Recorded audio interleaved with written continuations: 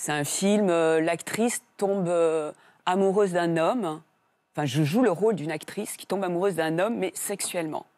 D'accord. Et, euh, et donc, on m'avait dit, bon, j'ai lu le scénario, et on me dit, bon, voilà, c'est quand même assez, ça va aller assez loin, c'est assez, assez osé, mais il n'y aura pas de, de nudité ou de choses intrusives dans la nudité. Chose qui a totalement été. Et, euh, et je, me, je me suis dit, j'en ai parlé à mon agent, tout ça, on m'a dit, mais Catherine, faut que tu rembourses ton cachet. Euh, Je n'avais pas d'argent, je ne voyais pas comment je pouvais rembourser mon cash. Puis bon, en même temps, j'avais un rôle génial euh, et tout. Et donc, très vite, je me suis dit, euh, il faut que je fasse comme si j'étais droguée dans ma tête.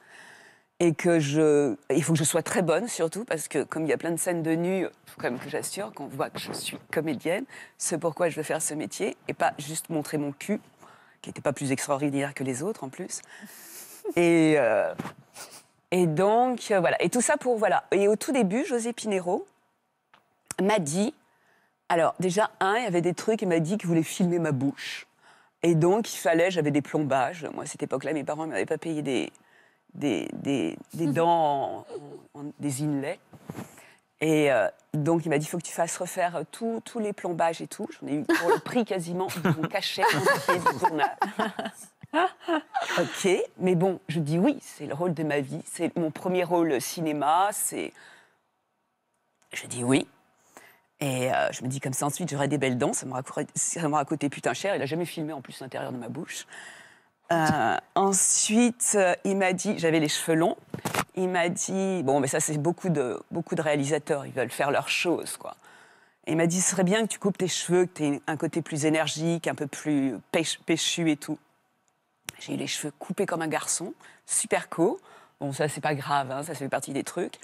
Et il m'a dit aussi, euh, je me rappelle, oui, oui, on buvait un, verre, enfin, je buvais, je crois, un verre de. J'avais pris un kir, c'était dans un, dans un café, et je me souviens très bien, il m'a dit, Catherine, le kir, c'est très mauvais pour la santé.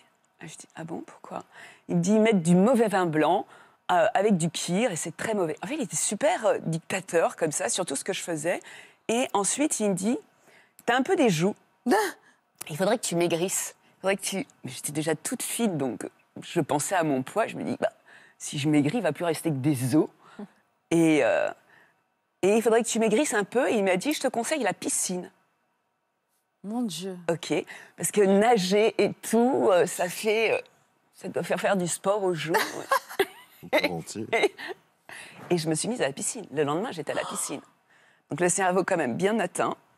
Et euh, je suis Ah, devenue c'est bien, d'ailleurs addict à la piscine. Oui, à tout vais- alors. hein.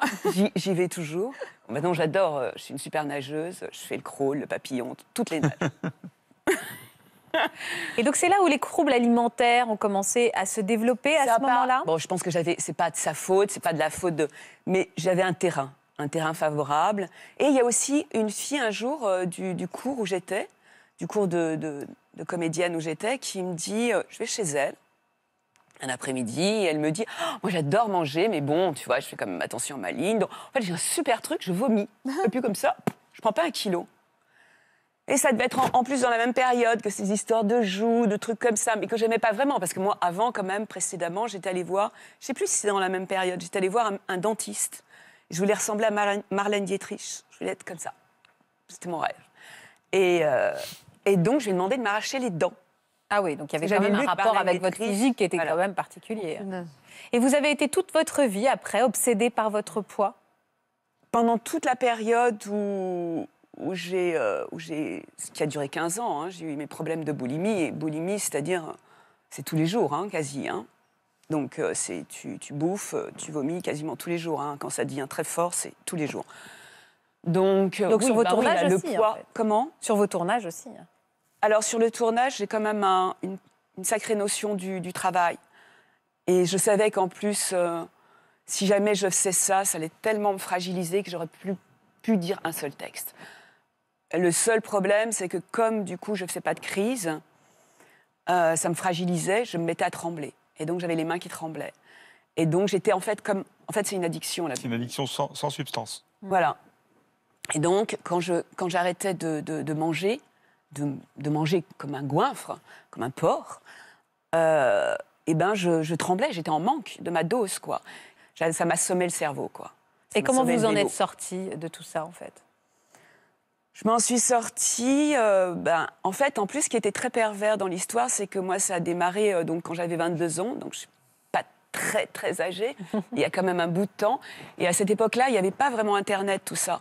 Et donc, moi, je pensais que j'étais folle, quoi. Donc, comme j'en parlais pas, en plus, comme je le communiquais pas, j'étais folle. Et comme, euh, voilà, je savais pas que la boulimie, euh, l'anorexie, tout ça, ça existait. On n'était pas au courant de tout ça. Et donc, mais à un moment donné, je me suis dit, il faut que j'aille voir un psy parce que là, en fait, j'étais au bord de l'Ohio, quoi. Je me disais, je vais crever, quoi. Je vais crever. En plus, on peut, on commence à, à- à cracher du sang, donc on peut aussi, on peut mourir de crise cardiaque. Il y a plein de morts possibles. Hein. C'est ça, le chemin, il est énorme. Et donc, j'ai vu une psy qui a été très bien.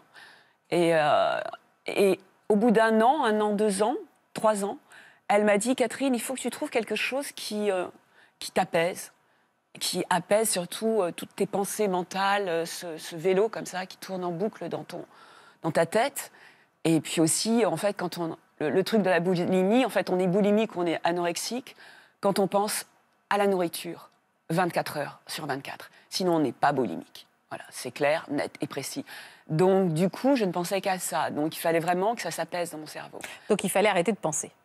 Donc, il fallait arrêter de penser. Et j'ai trouvé, en fait, j'ai trouvé la terre. Euh, La sculpture.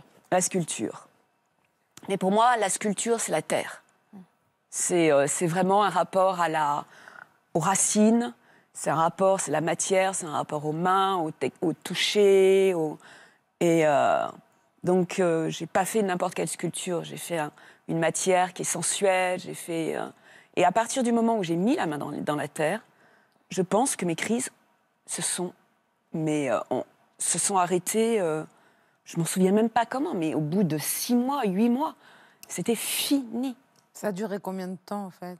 15 ans dans ma vie. C'était en parallèle de votre thérapie euh, Oui, je, je continuais ouais. ma thérapie, oui. Ouais, C'était comme de l'art-thérapie finalement pour vous, Oui. ça. Mm. Et je suis addict à votre t-shirt. Toutes ces sculptures, c'est qu'on découvre dans ce livre, hein, Voilà, dans cet oui. ouvrage. Et c'est vrai qu'au début, j'ai balancé tous mes monstres et je me rendais même pas compte de ce que je faisais. Et, et c'est un jour, je suis tombée sur une lettre que j'avais écrite à des personnes, à deux personnes, mais en fait, j'avais écrit d'une manière instinctive et très, très, très violente et très. Enfin, ouais, c'était très, ouais, c'était très dur. Mais je l'ai pas envoyé parce que sinon, je pense que les deux personnes se seraient suicidées. Et ce n'était pas le but du tout. Mais en fait, en lisant cette, lettre, j'ai vu que ce que j'écrivais dans cette lettre, je parlais de chair dévorée, de chair euh, comme si euh, on m'avait sucé le sang, on m'avait sucé le- les, les entrailles, comme si j'avais l'impression d'avoir des suçons partout sur ma peau qui me vampirisaient tout mon, tout mon être. Et quand j'ai vu mes premières sculptures, un jour, je me suis dit, Ah, mais c'est ça, en fait, je raconte ce que je suis en train de vivre. Ouais, c'est une métaphore analytique euh, anti-tranquillité psychique, ça. C'est euh, enfin vous représentez euh, tout, enfin Oui. si vous extériorisez tout- tout- toutes les choses quoi. Oui, c'est ça, oui. Oui, oui, ben, j'accouchais à chaque fois Ouais. de tous- tous mes monstres. Et moi, je les adorais. Parce que comme ça me produisait que du bonheur et que du plaisir et que ça m'apaisait, je les adorais. Il y avait des gens qui me disaient Mais c'est des monstres, c'est horrible, cache ça. Et moi, non, c'était. C'est votre histoire. C'est mon enfantement, oui, et c'est ma. C'est mon, c'est mes bébés, c'est mes, c'est mes guerrières, c'est mes. Je les aime, quoi. C'est. Vous vous sentez hors de danger aujourd'hui? Ah oui, totalement. Oui, c'est fini. C'est même pas que c'est fini. Le terme n'existe, n'a même plus lieu d'être. C'est que je suis devenue quelqu'un d'autre. J'ai l'impression d'être dans ma deuxième vie.